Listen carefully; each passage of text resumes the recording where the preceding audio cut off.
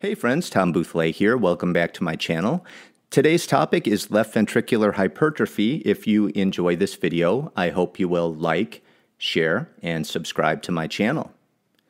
Left ventricular hypertrophy is an important cause of ST segment elevation on the 12 lead ECG.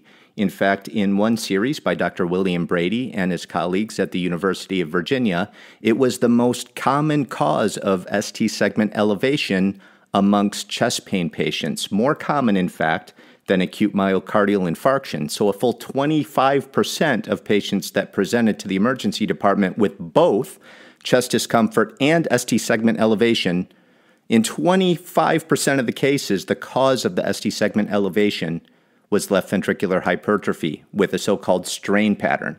So, this is obviously a very important STEMI mimic that we need to be aware of. And so our learning objectives for today are first, learn to identify LVH on the 12 lead ECG, and we'll go over voltage criteria for both the precordial leads and the limb leads. Second, we want to learn to identify the so called strain pattern or secondary STT wave abnormality. To do that, we'll discuss the rule of proportionality and, once again, the rule of ST segment and T wave discordance when a strain pattern is present. And then finally, we'll discuss diagnosing acute STEMI in the presence of left ventricular hypertrophy. So let's go ahead and look at a 12 lead ECG. As always, we're going to use this six step method and we're going to start with rate and rhythm. So if you take a look at this 12 lead ECG, the computer is calculating the heart rate at 87 beats per minute. So if we use the large block method to confirm and find an R wave that is close to a large block here and start counting, we have one, two, three, so that would be a heart rate of 100. Four, that would be a heart rate of 75. We're right in between, so the heart rate should be somewhere between 75 and 100 beats per minute. And so we can see with our own eyes that this is most likely an accurate calculation of the heart rate by the computer because we have a nice regular rhythm here. To look at the actual heart rhythm itself, we'll go ahead and take a look at lead one and ask ourselves, do we have P waves? Yes, we do. Are they in a one to one relationship with the QRS complexes? Yes, they are. Is P wave morphology constant in one cardiac cycle to another? The answer is also yes. And we have a constant PR interval. In fact, this looks slightly prolonged, a little bit over 200 milliseconds. That would make this a first degree AV block. And in fact, the computer is telling us we have a sinus rhythm with borderline first degree AV block and we agree with the computerized interpretation of the heart rhythm. I want to say one more thing about the P waves on this 12 lead ECG because this turns out to be kind of important later on when we're trying to diagnose left ventricular hypertrophy. So, if we go back to lead two here, we'll notice one more thing, and that is something maybe you've never thought of before, and that is the P wave duration. How wide is this P wave in lead two? Well, it turns out that it's equal or greater than three small blocks or 120 milliseconds, which is abnormal. It points to the possibility of left atrial enlargement, although classically speaking, they, they would like there to be a notch in this P wave, but most of the time it's just a prolonged P wave duration equal or greater than three small blocks. And if we go over to lead V1 and look at the P waves, we notice we have kind of prominent P waves, and we have what is called terminal P wave inversion. And this terminal inversion of the P wave here is fairly pronounced. It's at least a millimeter deep and a millimeter wide. So, in other words, it looks like you could take a small block of ECG paper and kind of drop it down into that terminal P wave inversion. Um, and so, all of these things kind of come together to say there's left atrial enlargement on this 12 lead ECG. Now, this is um, the Glasgow algorithm here, and it's not telling us in the interpretive statement that we have left atrial enlargement. I'm not sure why that is the case. Let's take this exact same 12 lead ECG and run it through the GE Marquette 12SL interpretive algorithm. Um, the, the GE Marquette does say left atrial enlargement. So, you know, you will find there are sometimes some subtle, sometimes not so subtle differences between our uh, computerized interpretive algorithms. Um, but that's why you want to learn how to read an ECG with your own eyes here, because to channel Dr. Thomas Garcia, author of 12 Lead ECG, The Art of Interpretation, we always want to consider the company in ECG abnormality keeps because things that affect the left ventricle also tend to affect the left atrium. So if you have a pathologically enlarged left ventricle, very frequently you should also have a uh, pathologically enlarged left atrium. So these two abnormalities kind of go hand in hand. So if you think you might have LVH on the 12 lead ECG, um, finding left atrial enlargement um, should increase your confidence in that diagnosis. So let's go ahead and give ourselves a check here for rate and rhythm and move on to axis determination. As always, I'm going to use three methods to, to uh, look at the heart's axis in the frontal plane. I'm going to show you how to do it the hard way, but don't let your eyes glaze over. If I lose you here, go back and watch the full video on axis determination. And then I'll show you the speed methods to determine axis on this 12 lead ECG. So, but first, let's see if we can calculate the heart's axis in the frontal plane within 5 or uh, 10 degrees here. Um, once again, we do not have a perfectly equiphasic lead here in the frontal plane, so this will be what I call a split axis. If we pick the two closest uh, leads that have the lowest voltage, I'm going to go ahead and pick lead 2 and lead AVF. Now, you may be wondering, well, why didn't I pick lead AVR? It looks kind of small too. Okay, let me explain that. If you take lead 2 here, and you look at the amplitude of the R wave, which is about 9 millimeters, and you subtract the depth of the S wave, which is six millimeters, you get a net positivity of three millimeters. So the electrical value of lead two here is about, I would assign it a value of three. And if you look at lead AVF and we do the same thing, um, your R wave is about six millimeters in amplitude, and your S wave is about 11 millimeters in depth. And so if you do the calculation here, we're at about negative five. So if you look at that, a positive 3 and a negative 5, and compare that to the depth of the S wave here in lead AVR, which is about negative 10, you can see that electrically speaking, lead 2 and lead AVF are the two smallest QRS complexes here in the frontal plane. So we want to find what leads are moving perpendicular to leads 2 and leads AVF. And remember uh, from the previous video, the easiest way to do that is to take the star of life, turn it on its side, replace the blocks with arrows, and now we can see that AVL is the lead that is perpendicular to lead 2, and lead 1 is the lead that is perpendicular to lead AVF. Um, so if we take a look at these two leads, we can see that the QRS complex is positive in 1, it's positive in AVL, and if we find positive lead 1 and positive lead AVL in the hex axial reference system, we'll see that the QRS axis is somewhere between 0 and negative 30 degrees. Well, if we add negative 15 to 0 degrees here, we come up with about negative 15 here. And in fact, the computerized interpretive algorithm is calculating the QRS axis at negative 18 degrees. So off by 3 degrees, not too bad. Um, but not very intuitive and not very easy on this particular 12 lead ECG. Now, you may recall that an axis between 0 and negative 30 is a so-called physiologic left axis deviation on the 12 lead ECG. We could have used the quadrant method here using leads 1 and AVF. So here we have a positive QRS complex in lead 1 and a negative QRS complex in lead AVF, which would put us somewhere in the left superior quadrant. But once again, we're unable to differentiate between a so-called physiologic left axis and a pathologic left axis deviation. To do that, the easiest thing to do is look at the first three leads of the 12 lead ECG, leads 1, 2, and 3.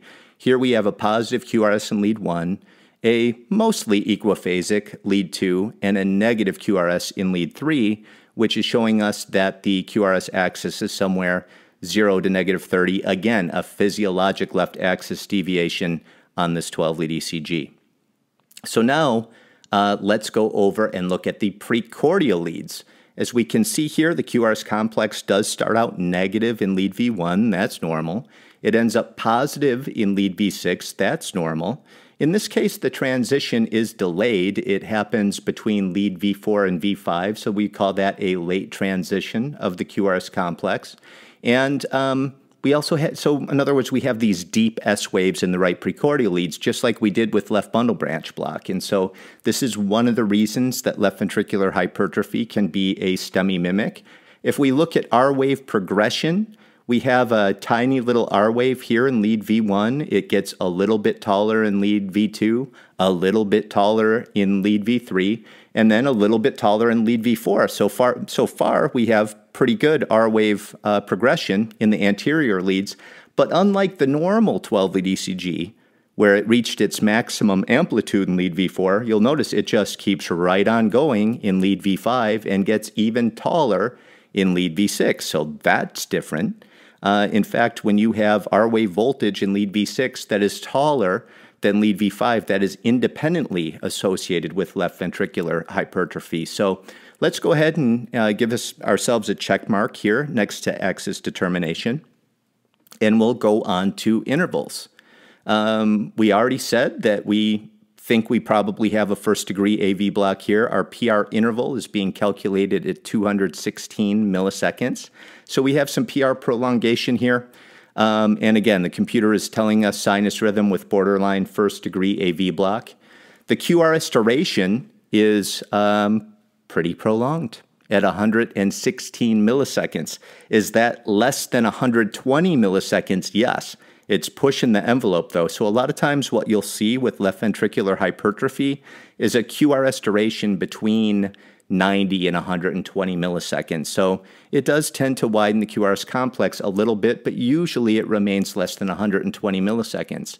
If we look at the GE Marquette algorithm, it's calculating the QRS uh, duration at 118 milliseconds, so even wider.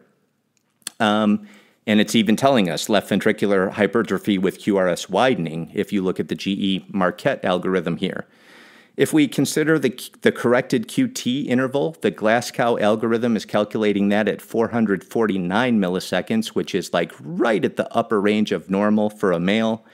Uh, GE Marquette is telling us the, the QT interval is prolonged at 478 milliseconds, so slightly different formula to calculate the um, the QTC with GE Marquette. So if we want to calculate this with our own eyes, what we can do is take a look. Um, this is arbitrary. You could use any lead here, but I'm going to use the right precordial leads. Find the R to R interval, and then find the halfway point of the R to R interval, and the T waves should end prior to the halfway point of the R to R interval. And you can see here, they're kind of like right at, they maybe slightly past the halfway point. So either way, you know, the Glasgow and GE Marquette are both calculating it less than 500 milliseconds. We think that a corrected QT less than 500 milliseconds is probably not clinically significant, especially if the chief complaint is not syncope. Um, so we're not too worried about that. So let's go ahead and give ourselves a check mark for intervals and move on to morphology. Now, if you take a look at this 12 lead ECG, we've already talked about the morphology of the P waves here and how that made us worry that we were dealing with left atrial enlargement. So that might have already sort of teed us up to, to wonder if we might be dealing with left ventricular hypertrophy. You'll also notice that a lot of our QRS complexes here kind of run into one another. Um, you know, so the S waves are like really running into the territory uh, uh, from V1 into V2 and V2 into V3. And so you've got a lot of overlap in your voltage here. A lot of times, if I see my QRS complexes touching, then I that kind of clues me into the fact that I might be dealing with left ventricular hypertrophy. So let's try and make the case here for LVH. Um, and to do that, we're going to take a look at lead V1 and we're going to take a look at lead V6. So the formula here is the voltage of the S wave in lead V1 plus the voltage of the R wave in lead V5 or V6, which either is greater, and see if it is greater than 35 millimeters. That is going to be our precordial lead voltage criteria for left ventricular hypertrophy. Now, before we go any further, let me just tell you for the record I do not think it is particularly important for you to take out calipers and measure the depth of S waves and R waves in the back of a moving ambulance. Not at all. I think it is far more important that you learn to recognize a strain pattern on the 12 lead ECG. I have not found it clinically important to make the case that the voltage criteria is met. Um, and hopefully you'll see this as we go on. But for educational purposes, let's try and make the case for left ventricular hypertrophy using this formula on today's 12 lead ECG. So if we look at this, the S wave depth in lead V1 is 23 millimeters. The amplitude of the R wave in lead V6 is 23 millimeters. Well, that's the same, isn't it? 23, 23? Huh. Didn't notice that when I first did this. Okay, they're both 23.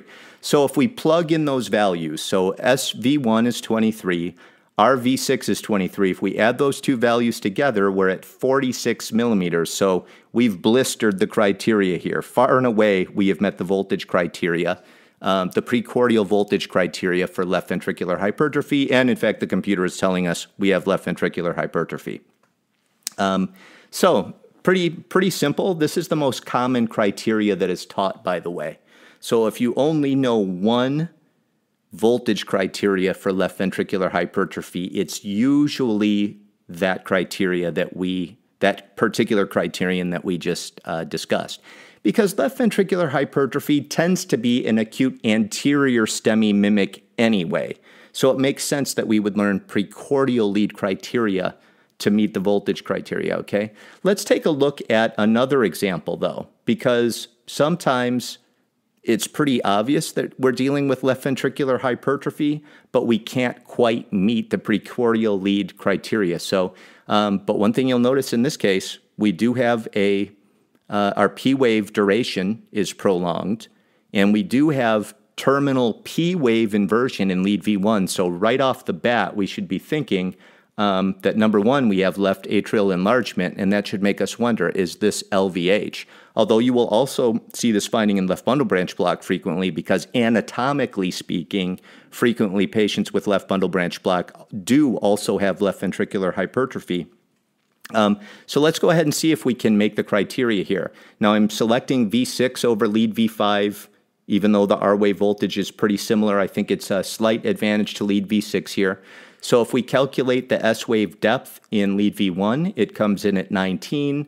Um, the R wave amplitude in lead V6 is 14. If we plug these values into the formula, we're at 33 millimeters. So just shy of meeting the, but you know, this is why I'm telling you, the voltage criteria, I don't worry about it that much because you can really train yourself to recognize strain patterns on a 12 lead ECG. And even if you're off by a millimeter or two, you should still kind of trust your gut when it comes to LVH with strain, okay? But in this case, um, we can go and use a limb lead criteria. Okay, we struck out with our precordial lead criteria here. Let's go over to lead AVL. And this is actually much simpler because it doesn't require any math. If the amplitude of the R wave in lead AVL is greater than 11 millimeters, that meets the limb lead voltage criteria for left ventricular hypertrophy. And here our, we can measure that amplitude at 16 millimeters. So we've met our uh, limb lead voltage criteria for left ventricular uh, hypertrophy. And the computer is telling us it's left ventricular hypertrophy. Most, not all, but most of the computerized interpretive algorithms are pretty good at recognizing left ventricular hypertrophy and, importantly, um, suppressing their STEMI criteria when left ventricular hypertrophy is met. Um, the algorithm that does not do that um, causes uh, some problems. We'll discuss that later. But let's go ahead and check off morphology. We've explained that we have left ventricular hypertrophy on this 12 lead ECG. And let's go on, and now that we've identified LVH is a known STEMI mimic, is this a STEMI? Is this ECG? Would we consider this a STEMI mimic? And if so, why? And to do that, we will learn to identify the so called strain pattern on this 12 lead ECG, or this secondary STT wave abnormality. Secondary to what? Secondary to abnormal depolarization from left ventricular hypertrophy. So, in a strain pattern, very similar to left bundle branch block in this regard, in leads with a negative QRS complex, we generally have a discordant J point. So we have ST segment elevation in the opposite direction, and we have an STT wave abnormality, again deflected in the opposite direction. In leads that have a tall R wave, especially, we would expect ST segment depression and we would expect T wave inversion. And usually, the T waves are asymmetrical here, okay? So if we, oh, and, and also the rule of um, proportionality also applies. So the more, um, the deeper the S waves, the more pronounced the secondary STT wave abnormality in the opposite direction. So in this particular case, you know, we're only at about nine and a half millimeters deep here for this S wave, and we have a fairly modest amount of ST elevation in the opposite direction versus this example that has a very deep S wave that has more pronounced ST segment elevation. That is uh, normal for LVH with strain, and it's really normal for any time that you have deep S waves. Um, if you take nothing else away from this video today, today um, be skeptical of ST segment elevation in the face of deep S waves. Stop, think about it. It's probably not a STEMI, okay? So if we take a look at this particular example and we find every single lead that has a positive uh, QRS complex, you'll notice we have an inverted T wave, okay? Uh, similarly, every QRS complex that is unambiguously negatively deflected, we have um, a positive T wave. And in these leads that have really deep S waves, we have some ST segment elevation.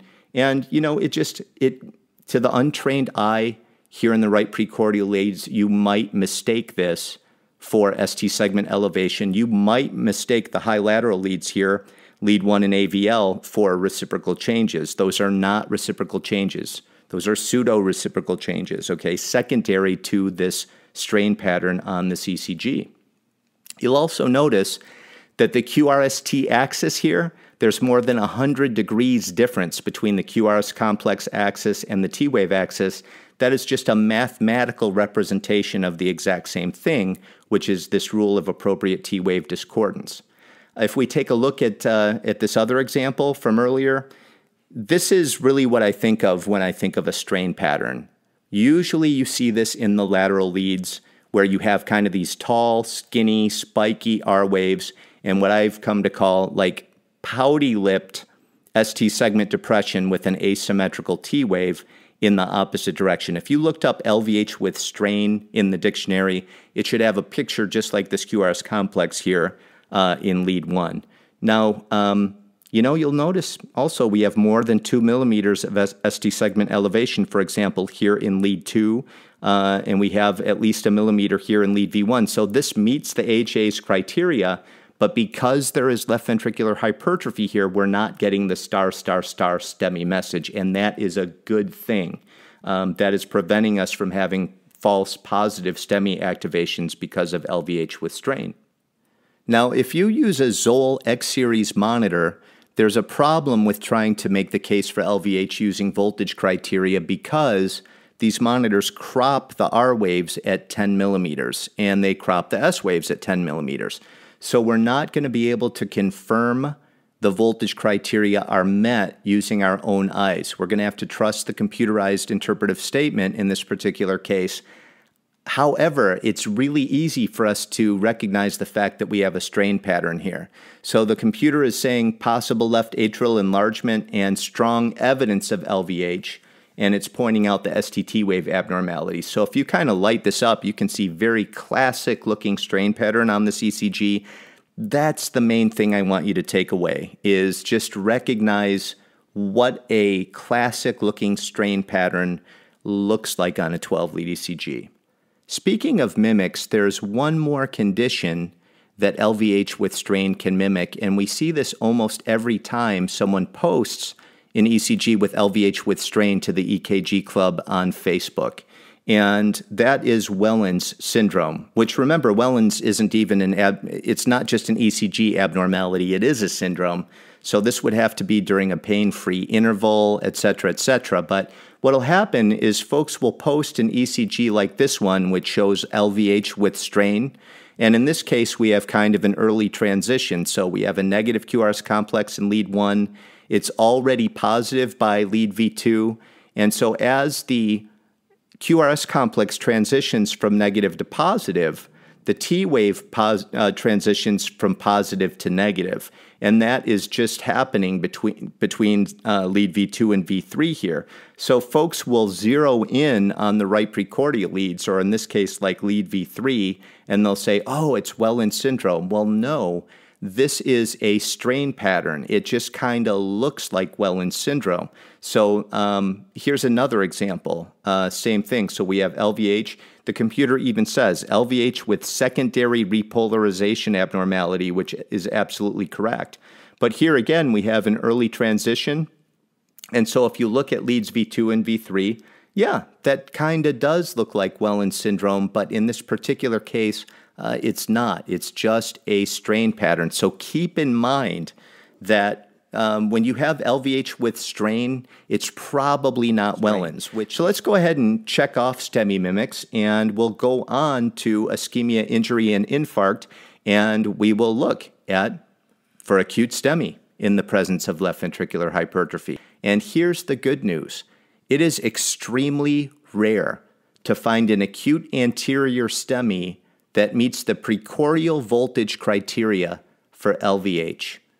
We're not entirely sure why, but acute anterior STEMI tends to attenuate the S wave voltage in the right precordial leads. So, most of the time, if your patient is suffering acute anterior STEMI, it will be impossible to meet the voltage criteria. It's, it's extremely rare. I've only seen one case. Um, this was submitted by a primary care paramedic named Phil from Australia to EMS12lead.com. And it shows a fairly obvious acute anterior STEMI, even though it meets the precordial voltage criteria. Um, you can see that we have some reciprocal changes down here in the inferior leads. And if there was any doubt, uh, it was removed in the back of the ambulance when the patient went into VFib. So this was such a impressive clinical presentation um, you would feel pretty certain you were dealing with acute STEMI and not LVH with strain. Here is a far more nuanced case from Dr. Smith's ECG blog, shown here with permission. I'll go ahead and put this link in the show notes. Um, but the attending physician on this particular case wasn't 100% convinced because of left ventricular hypertrophy here. They were looking at this kind of saying, well, I think this might be a strain pattern but went ahead and activated the cardiac cath lab anyway and then performed a quick bedside ultrasound, which did show a septal wall motion abnormality, further suggesting that this was an actual STEMI. The patient's chest discomfort subsided somewhat, and they went ahead and obtained another 12 lead ECG. And as you can see, the ST segments and T waves kind of cooled down a little bit. So they had dynamic changes on serial 12 lead ECGs, which is often what is required to clinch the diagnosis for any STEMI case, let alone something this nuanced. So this would be another example of how you could identify acute STEMI in the presence of LVH with strain. Okay, let's wrap things up now with another case that was sent to me by a colleague from upstate South Carolina who emailed me this case and asked for a cold read. So I looked at this ECG knowing absolutely nothing about the patient's history or clinical presentation. Now you will notice that the computer is giving the acute MI message here and if you take a look at the right precordial leads, there is a scary amount of ST segment elevation, especially, and, and what appears to be potentially a hyperacute T wave here in lead V2. But if you'll notice, the S waves here are 30 millimeters deep.